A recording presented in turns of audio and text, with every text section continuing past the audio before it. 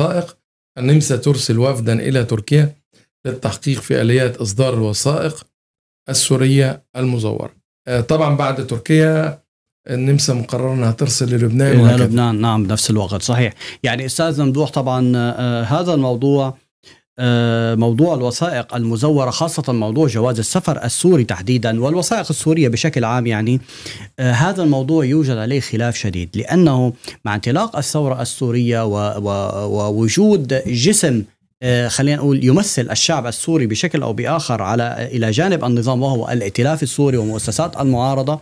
هذا هذه المؤسسات عملت على إصدار جواز سوري ولكن هذا الجواز لا يوجد له بيانات لدى النظام السوري. فبالتالي وغير أوروبا وغيره يعني تعتبره مزور. ولا ولكن مع انه مع أنه فعليا هو يصدر أو يصدر بنفس الآلية التي يصدر بها جواز التي يصدره نظام الأسد المجرم.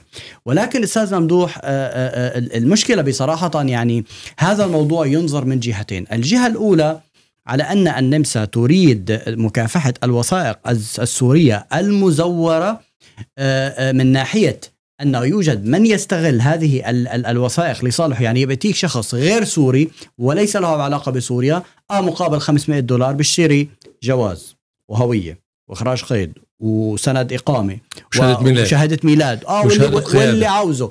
وعقد زواج والى ما إلى ما لا ذلك. ويؤدي ويقدم هذه الوثائق إلى السلطات النمساوية على أنه سوري. ويحصل على حق اللجوء على أنه سوري باعتبار أن السوري اليوم يوجد له أفضلية يعني في الحصول على حق اللجوء. ولكن من جهة أخرى النمسا تريد التضييق على السوري الحقيقي الذي هو فعليا سوري.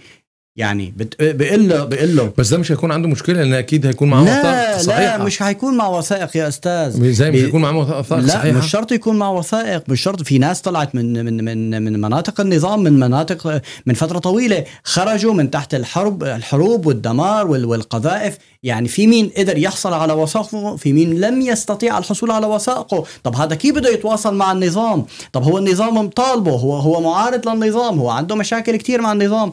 على أي أساس على أي أساس؟ بده يقدر إنه يحصل على وثائق من عند النظام السوري. فبالتالي النمسا يعني عم تحاول هي فعليا بنقول من جهة الحق معها بمكافحة الوثائق المزورة ولكن من جهة أخرى يجب مراعاة من هو عنده مشكلة حقيقية مع النظام خاصة خاصة ال ال العسكريين المنشقين على عن النظام. يعني وتذكر أنت بأحد برامجك اللي مع الأستاذة نيفين اللي قالت أنه أنه أنه اللي بده يقدم بده يكون منشق بده يكون معه وثائق وثائق تثبت على أنه هو منشق فما بالك زي الوثائق غير موجودة معه. يفقد حقه.